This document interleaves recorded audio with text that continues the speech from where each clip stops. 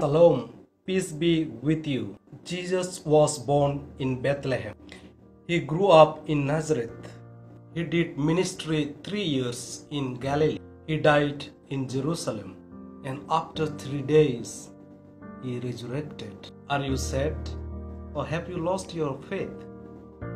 Believe in Jesus Christ and believe also in the gospel. He is the life and resurrected Christ. This is the day that the Lord has made. Let us rejoice and be glad. Wish you happy Easter. Praying for you and for your intentions and for all your family members. May God bless you. Shalom.